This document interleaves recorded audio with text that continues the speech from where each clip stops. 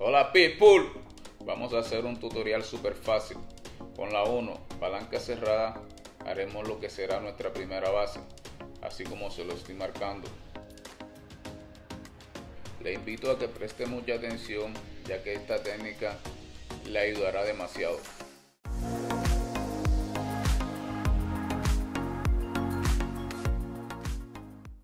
Una vez terminada esta primera fase, haremos lo que será nuestra segunda fase. Y entonces con la una y media palanca cerrada, marcamos a un dedo o un poco más, ya que será un desvanecido clásico o de oficina. Muchos colegas me han preguntado que si qué máquina les recomiendo. Pues esta es la ideal, la Watt 5 estrellas. Es muy potente, y con ella podemos hacer cortes óptimos. Ahora con la 2 palanca cerrada vamos a conectar esa sombra que se ve allí haciendo movimientos cuchareados y en largo así como se lo estoy mostrando. Lo que logramos con este movimiento cuchareado y en largo es tratar de eliminar la línea de inmediato.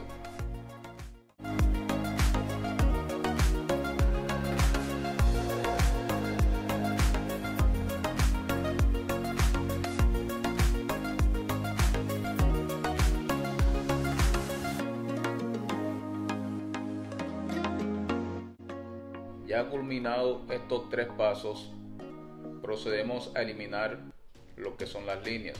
Con la 1 palanca hasta la mitad, haciendo movimientos en cóncavos, vamos a tener los resultados de siempre, muy rápidamente. Es muy importante que los movimientos cuchareados sean sobre la línea, para que así se nos haga más fácil de eliminarlo. Y así podemos conectar una línea con la otra.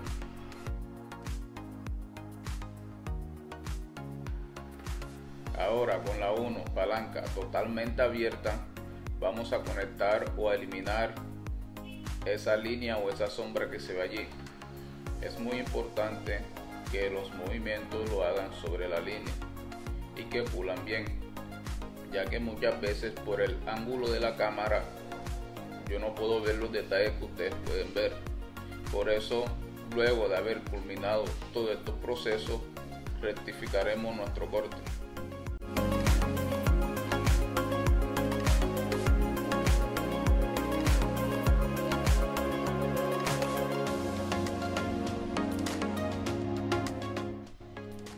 Vamos a hacer es a limpiar un poco el corte así quedó y vamos a proceder a hacer nuestra marca frontal y lateral. Les voy a explicar cómo hacer curva con la navaja. Préstele mucha atención. A la hora de marcar, les recomiendo y les aconsejo que sean lo más natural posible.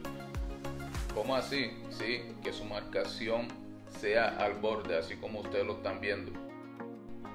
Ahora para hacer nuestra curva tenemos que usar la punta de la navaja.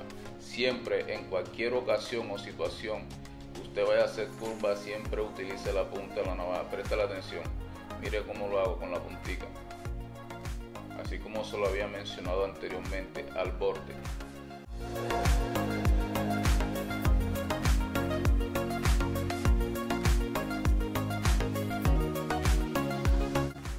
Desea un poco más de curva con la misma punta y al borde comiendo un poquitico más vamos a darle una mejor definición